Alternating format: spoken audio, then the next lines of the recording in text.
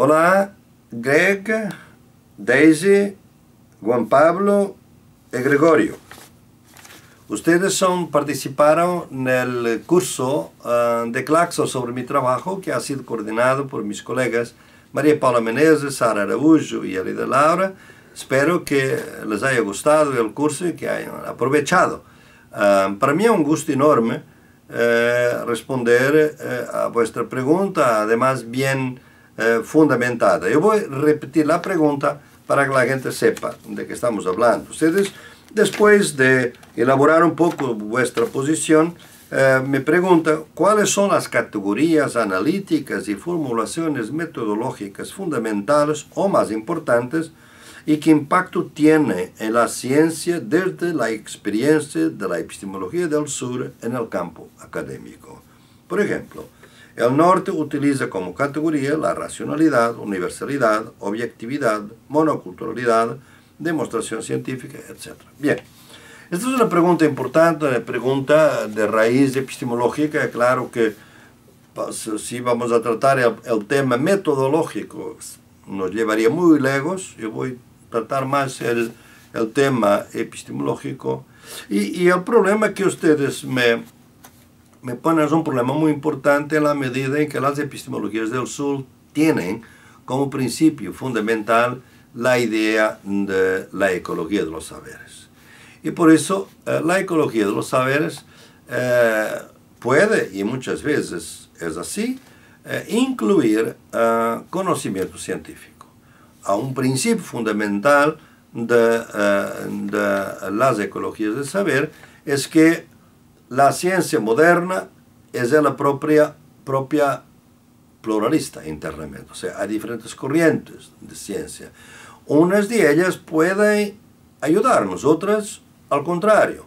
Entonces, si el objetivo de las epistemologías del sur es partir del conocimiento nacido en la lucha y la resistencia o utilizado en la lucha y la resistencia, el conocimiento científico puede, obviamente, no haber nacido en la lucha ni en la resistencia, pero puede ser utilizado en la lucha y la resistencia. Y eso obviamente que depende de un criterio de confianza. No basta que sea, digamos, una, un, resultado científico bueno, porque es objetivo, porque se respetaron todos los protocolos de investigación. Es necesario que los grupos sociales que luchan uh, piensen que ese resultado favorece a su lucha. Un ejemplo. Hoy en día tenemos una lucha muy fuerte en varios países del continente donde se impulsó mucho la agricultura industrial, llamado agronegocio, eh, en Argentina, en Brasil, por ejemplo, y otros países están impulsando. Colombia, por ejemplo, va a ser también fuerte, México también.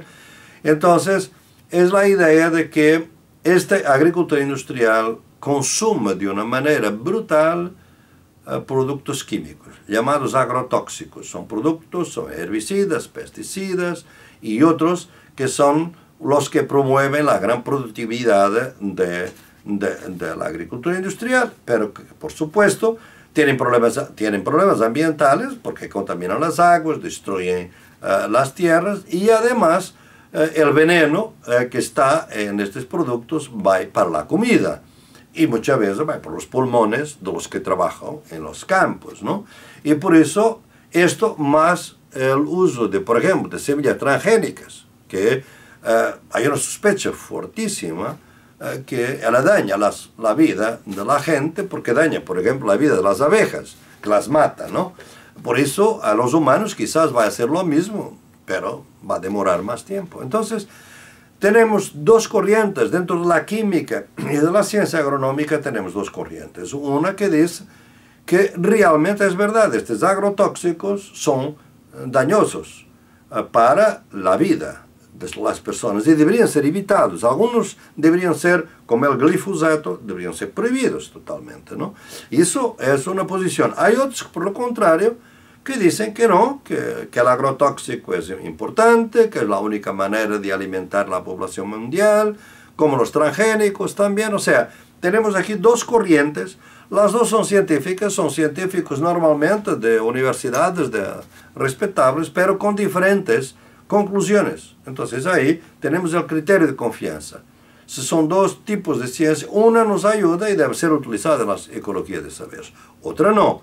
Entonces, hay aquí eh, esta, digamos, capacidad pragmática, digamos, utilitarista de las epistemologías del sur de utilizar conocimiento científico nos pueda ayudar. Otra cosa son después los presupuestos de dónde viene esa ciencia. Y eso ahí realmente tenemos que ver caso a caso. Miremos cada uno de los casos que pone. Racionalidad. Obviamente que uh, hay varios tipos de racionalidad. No, nosotros no podemos pensar que la racionalidad instrumental, digamos, que, de que hablaba uh, Max Weber, uh, la idea de que tú tienes que pensar y de pensar sin el corazón y de pensar simplemente en términos de tus objetivos, uh, es una ciencia que es una racionalidad que es la única que existe. No, hay otro tipo de racionalidad y mismo cuando yo hablo de el uso pragmático de la ciencia en las epistemologías del sur, hay un uso instrumental de la ciencia, pero el objetivo no es instrumental. O sea, el objetivo de la lucha es luchar por una sociedad mejor, digamos así. Es instrumental para una sociedad que no existe todavía. Por eso ya tienes aquí una distinción a hacer. El pragmático puede tener dos sentidos, una racionalidad pragmática, para la realidad que existe o para la realidad mejor que debería existir y por la cual debemos luchar. Esto ya es un cambio de dos conceptos de racionalidad. El segundo es cuál es el papel de las emociones, de los sentidos, de los afectos en nuestra racionalidad. Hay una concepción positivista que nos dice que tú tienes que eh, eliminar todos esos aspectos, digamos, emocionales, emotivos, porque te destruyen la racionalidad. Al contrario, hay otro concepto de racionalidad que yo además llamo la ración caliente, donde tú puedes uh, argumentar, puedes razonar, pero con sentimiento de una lucha, por ejemplo, de indignación, por algo malo que ocurre en tu comunidad y por algo bueno que te gustaría de luchar. Yo nunca he visto a nadie a luchar con algún riesgo por una causa social si no hay una emoción si no hay un deseo muy sentido en el corazón de poder cambiar esta realidad. Nosotros, además en los Andes hay una expresión muy interesante que uso, además de mi trabajo, que es corazonar.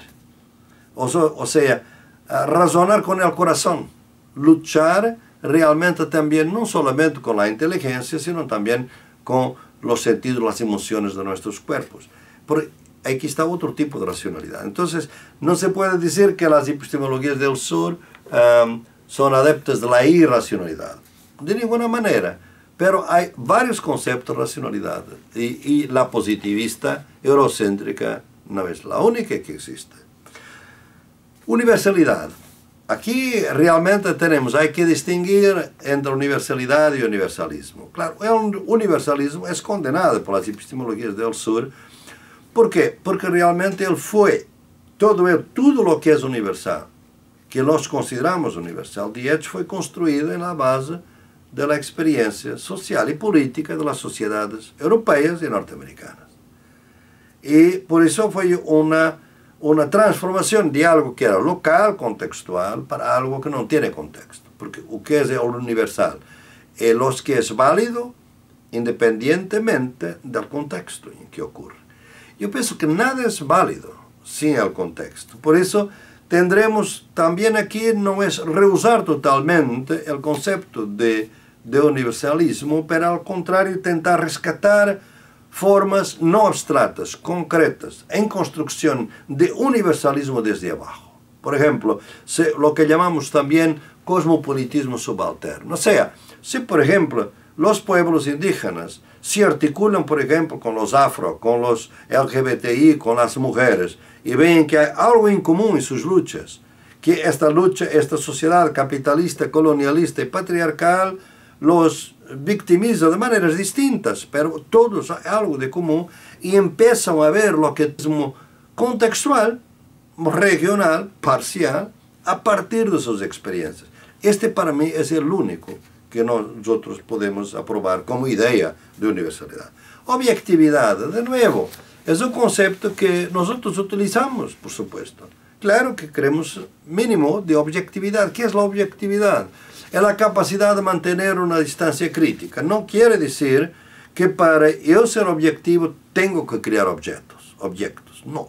Yo puedo estar con una discusión, como puedo, puede estar con un amigo tuyo una amiga tuya, tú puedes ser objetivo en el sentido de eh, considerar lo que ella está diciendo es malo o es bueno, independiente de tu amistad, tú no tienes que decir que estás de acuerdo simplemente porque es amiga, no, al contrario. Una distancia crítica es importante y en el conocimiento científico, por ejemplo, esa distancia crítica se obtiene por el uso de ciertos métodos de metodología que, que son conocidos, digamos así, ¿no? Pero para las epistemologías del norte, para ser objetivo tú tienes que ser neutro. O sea, no puedes tomar una posición en las luchas sociales. ¿De qué lado estás? ¿Del lado de las mineras o del lado de los pueblos campesinos e indígenas que resisten a la minera? Esto es una cuestión que no debes. Para las epistemologías del norte no es científica, es política. Nosotros no lo consideramos. Consideramos que se puede ser objetivo, pero no neutro. Porque en una sociedad muy desigual, de opresores y oprimidos, si tú de hecho te dices neutro, ¿de qué lado estás? Estás del lado de los opresores, por supuesto, sin saberlo, de una manera ingenua, pero que, que ocurre. Entonces, objetividad sí, neutralidad no. Un otro concepto de objetividad. Monoculturalidad, por supuesto, no. no. Nosotros realmente, desde una perspectiva de las epistemologías del sur, luchamos bastante contra esta idea de la monocultura porque porque es una monocultura arrogante, digamos así, una monocultura eurocéntrica que se impuso a todas las culturas. Y por eso buscamos un concepto de interculturalidad. Ahora, podríamos decir, pero si hay un cierto esencialismo indigenista, por ejemplo, los pueblos indígenas no es también una monocultura de resistencia. Podría considerarse, ¿no? Es una monocultura, digamos, de los oprimidos y por veces en algunos movimientos uh, digamos, indígenas, encontramos la idea de que uh, la cosmovisión indígena solo puede ser comprendida por un indígena, uh, que lo que es útil a los indígenas solamente puede ser defendido por los indígenas. Yo pienso que esa posición es minoritaria. Podríamos decir, es una monocultura al revés, digamos, una monocultura de los oprimidos. Es un esencialismo identitario. No me parece que sea una posición muy dominante, al contrario, los pueblos indígenas y campesinos y afros sufren mucho el aislamiento, el gueto en que muchas veces son puestos cuando, por ejemplo, los media les dicen que son obstáculos al desarrollo, porque no quieren uh, las mineras o las madereras en sus tierras. Entonces, yo pienso que no hay esa, esa posibilidad. Por eso ustedes ven, por vez hay conceptos que rehusamos totalmente, a outros conceptos que temos uma concepção distinta deles.